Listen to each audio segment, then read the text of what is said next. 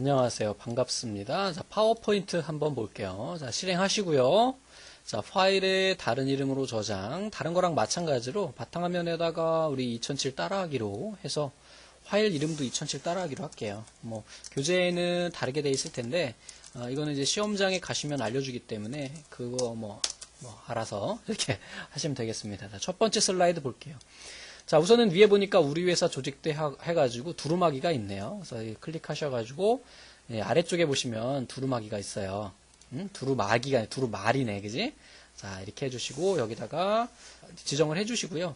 우선은 채우기가 흰색이잖아요. 그래서 여기서 페인트통 해가지고 흰색 지정하시고요. 테두리는 까만색이에요. 그래서 까만색이고요. 두께가 좀 두껍게 돼 있는데요. 두께는 한 1포인트 정도 줄게요. 자, 이 상태로 해가지고 마우스 오른쪽으로 해서 기본 도형으로 하시면 어, 흰색으로 표시가 될 겁니다. 자, 그리고 여기다가 어, 써주시면 되겠죠. 우리 회사 조직도 이렇게 써주시고 그 다음에 이제 글꼴 색깔이 이제 까만 색깔이 되겠죠. 그리고 크기는 어, 45 정도 지정하시면 될 것 같아요. 음, 보통 이제 파워포인트 지시사항에 보시면 맨 위에 게 제일 크고 그 다음 그 다음 그 다음 이렇게 어, 지시사항이 있잖아요. 그래서 보통 제일 큰 거를 어, 45, 42에서 45 정도 지정하시면 되겠습니다. 자, 다음에 두 번째 보니까 빗면이에요, 빗면. 그래서 빗면을 이렇게 그려주시고요. 그 다음에 얘는 이제 채우기가 있겠네요. 그래서 채우기가 어, 문제에서 아마 40% 줘라고 그랬을 거예요. 그래서 어, 정확하게 40%는 없고요. 그래서 35에서 50 정도 있는데요. 자, 50 정도 추정하셔도 괜찮습니다. 이게 뭐 출력하면은 이게 시험장마다 프린터 농도가 다르기 때문에 거의 비슷하게 나와요. 뭐 이것 때문에 너무 고민하시는 분들도 계시는데 아, 걱정하지 마시고요. 자 그리고 글꼴 색깔이 예, 검은 색깔이네요. 자 그리고 어, 얘를 가지고 우리가 기본 도형으로 다시 만들어 줄까 봐요. 여기 보니까 이렇게 되어 있네요. 그래서 다시 기본 도형으로 뭐 기본 도형 안 하셔도 상관없고요. 자 다음에 이제 여기 있는 것들은 좀 옆으로 놓고 이렇게 놓고 볼까봐 요 놈부터 한번 해볼게요. 자, 얘는 어디에 있느냐 하면 여기에 있네요. 블록 화살표에. 자, 이렇게 그려주시고 적당한 크기예요. 자, 그 다음에 여기 요 두 번째 요 놈은 어, 도형에 어디 있느냐 하면 블록 화살표 말고 순서도에 화면 표시예요. 그래서 화면 표시 이렇게 해주시고요. 그리고 이제 만약에 얘네 이제 크기가 그러니까 크기나 배치가 이런 것이 좀 잘안 보인다 그러시면은요 보기에 가셔가지고 눈금선, 눈금자 이렇게 해놓으시면은 우리가 이제 보이거든요. 그래서 이 경계선에 따라서 이 크기에 따라서 우리가 맞춰놓는 것도 하나의 팁이 됩니다. 자 그리고 두 번째는 뭐냐면은 음, 연구소장 요거 그리는 거예요. 그래서 뭐 교재에는 뭐 도형 하나 그리고 이렇게 설정하고 하는데 한 번에 그리고 나중에 글씨에 쓰셔도 돼요. 그래서 연구소장 얘는 어디 있느냐? 자, 홈에 가셔가지고 연구소장은 어, 요 놈을 가지고 회전을 시키겠죠. 뭐 이렇게 하셔가지고 Shift 키 누르고 돌리시면은 이렇게 회전이 되겠죠. 자, 그래서 적당한 크기로 만들어 주시고 자, 요 놈도 마찬가지로 이쪽으로 복사를 좀 해줄게요. 자, 복사해 주시고 대신에 얘는 어때요? 반대로 돌아가겠죠. 그래서 이렇게 해주시고 자 여기 정렬에 가시면은 여기 회전이 있어요. 그래서 회전에서 다 좌우 대칭 이렇게 해주시면은 좌우 대칭이 됩니다. 다음에 맨 이쪽에 이 녀석 같은 경우에는 이놈도 화살표 같은데요. 자, 이놈 깃발 이렇게 해주시고 여기에 노란 점을 이용해서 크기를 조정해 주시는데 딱 보니까 우선은 좀 배치가 좀 잘 안 맞는 것 같아요. 그래서 어, 적당하게 이렇게 좀 당겨서 음, 놓으시고 얘 크기를 좀 키워주겠습니다. 아, 이렇게 만들어주면 되겠죠?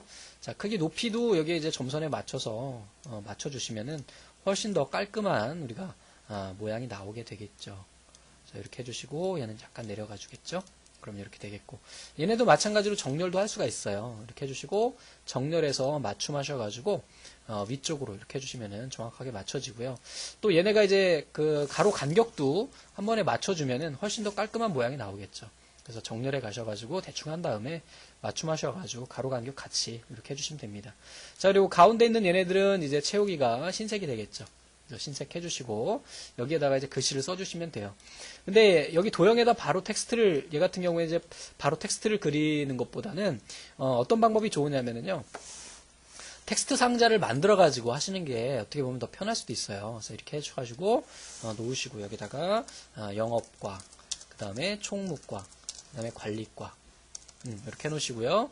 얘네 선택하셔가지고 마우스 오른쪽에 어, 글머리 기호가 있어요. 약간 위에다 놓고 와볼까봐요. 이렇게 어, 이렇게 해놓으시고 얘네는 글꼴 색깔은 우선 좀 바꾸고 갈까 봐요. 자 흰색 이렇게 해주시고 범위 선택 마우스 오른쪽 자 글머리 기호에 어, V 표시인데요. 맨 아래쪽에 있어요. 그래서 V 표시 이렇게 지정하신 다음에 이렇게 배치를 해놓으시면은 이게 어떻게 보면 더 훨씬 더 어, 깔끔하게 작업을 할 수 있는 하나의 요령이 될 수가 있습니다. 이런 거 누가 가르쳐 주니? 그래서 다시 컨트롤 A 눌러서 다시 쓰겠습니다. 기획과 그 다음에 기술 개발과 기술 정보과 그 다음에 인사 관리과 이렇게 해주시겠습니다. 자 그리고 얘네가 좀 텍스트가 길기 때문에 이렇게 나오니까요. 어, 이렇게 해주시고 이렇게 맞춰주시면 되겠습니다. 자 그리고 얘는 세로로 쓰는 거잖아요.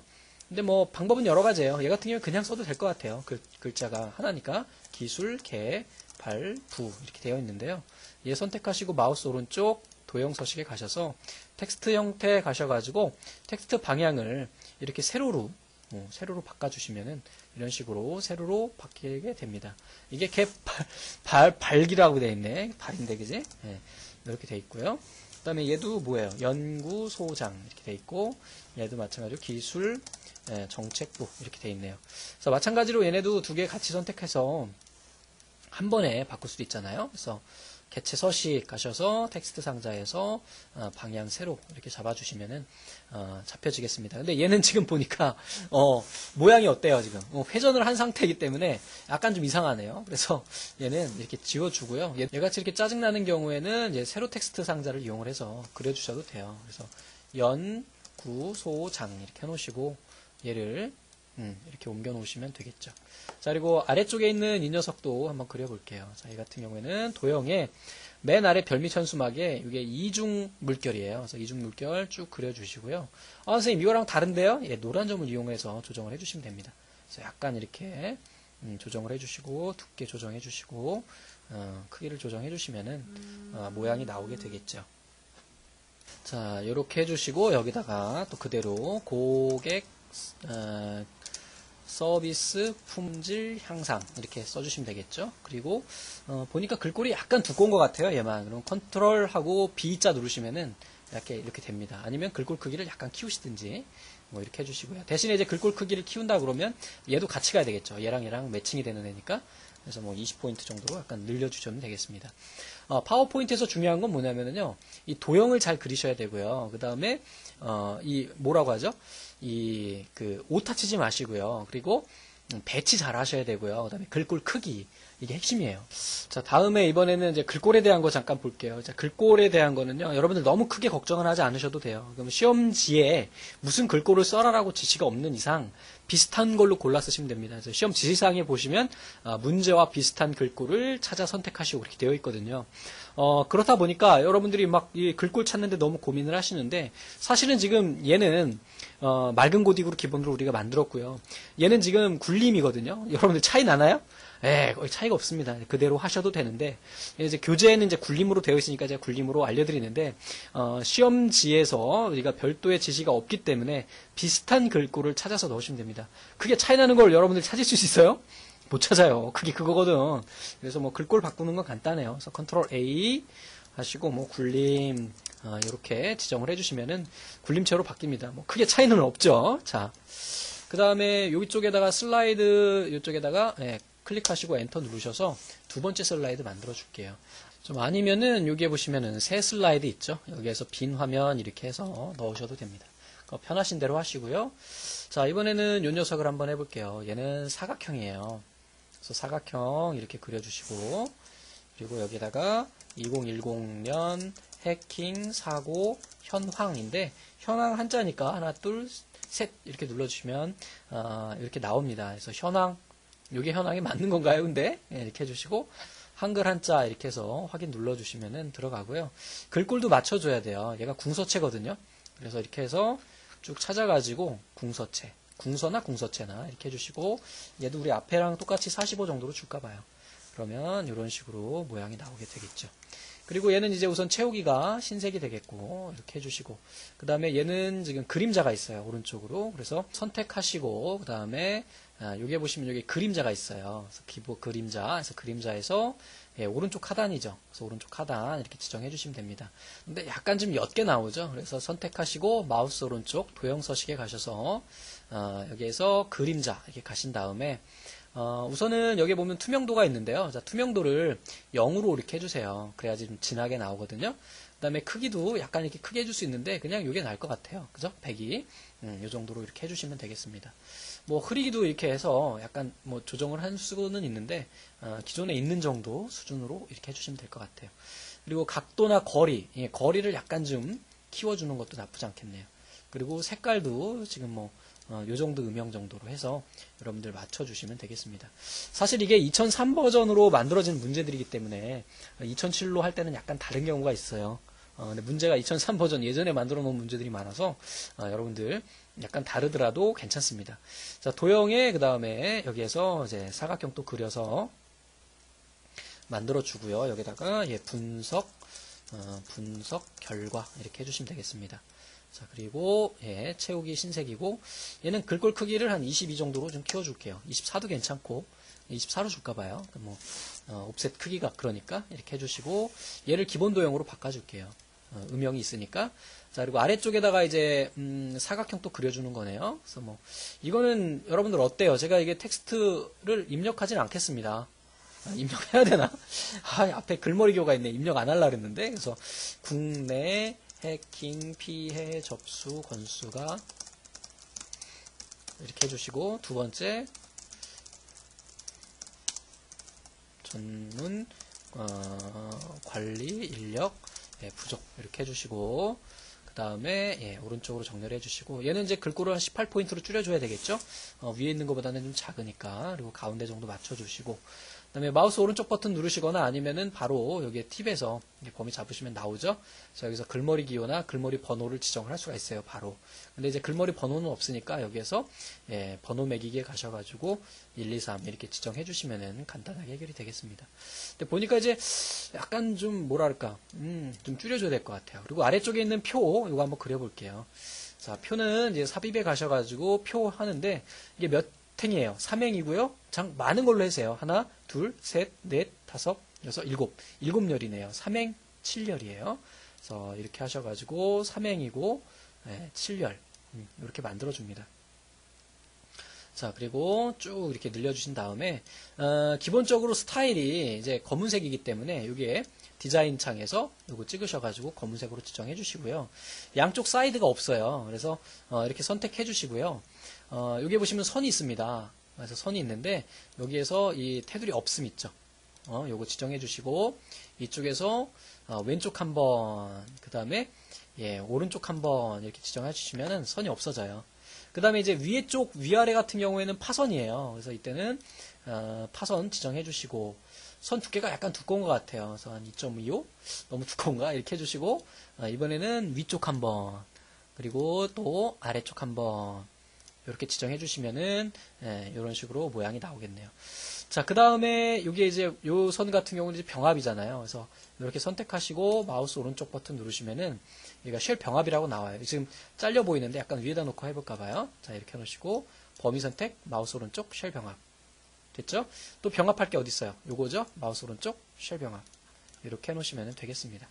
자, 그렇게 하고 이제 아래쪽에다 놓으시고 텍스트 입력하는 건 여러분들 하실 수 있잖아요. 그죠? 그래서 이렇게 만든다라는 것만 보여드리고 마무리를 해도 괜찮을 것 같아요. 괜찮겠습니까? 예. 뭐 타이핑 치는 거 보여드릴 필요는 없잖아요. 그죠? 그리고 제가 아까 하나 또 안 한 게 있네요. 여기 보니까 요거 음, 그래서 그림자 지정 안 한 게 있는데 요거 그림자 지정하고 마무리를 한번 해볼게요. 자, 기본 지정에 그림자에 자, 오른쪽 하단 이렇게 지정하고 자, 마우스 오른쪽 도형 서식에 가셔서 자, 그림자에 가셔가지고 보면서 하세요.